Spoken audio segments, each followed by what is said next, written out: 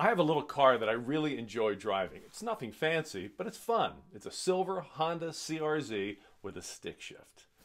The problem is I couldn't drive it for several months because back in October, the doctor told me I needed a full hip replacement. Along with all the other problems a hip replacement creates and causes, you can't drive a low slung car with a stick shift because you can't depress the clutch when you just had your left hip replaced.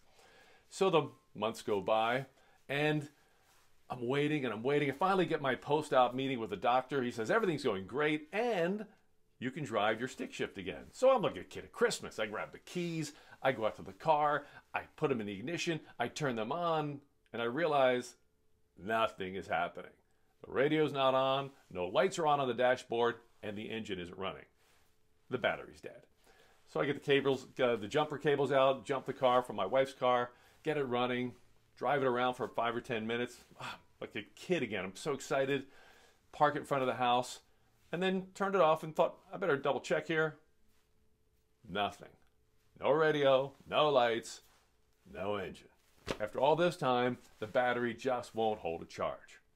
Call the mechanic, no problem. Battery's under warranty. He takes care of it, replaces the battery. Presto, it's Christmas again. The car works perfectly. The radio works, the lights come on, all the electronics work, and I don't even have to think about it.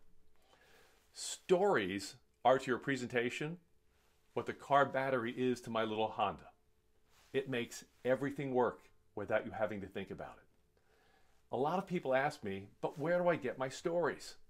The same place I just got mine from your day to day life where you run into problems. The soul of every story is the seed of a problem and conflict. Something you want, something preventing you from getting what you want, and the lesson you learn along the way.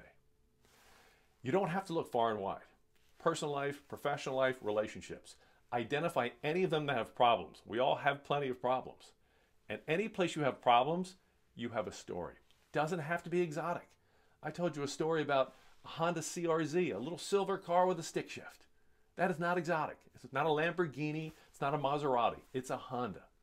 And because you have a car and I have a car, you've had a car battery die, I've had a car battery die, boom, gives us the connection we need.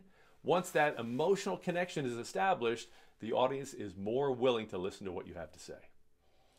I hope your car battery works really well today. And if it does, you won't even think about it. Do the same thing with your presentations.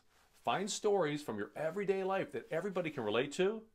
It will bring your entire presentation to life, and your audience won't even know how you did it. I call it the art of invisible influence.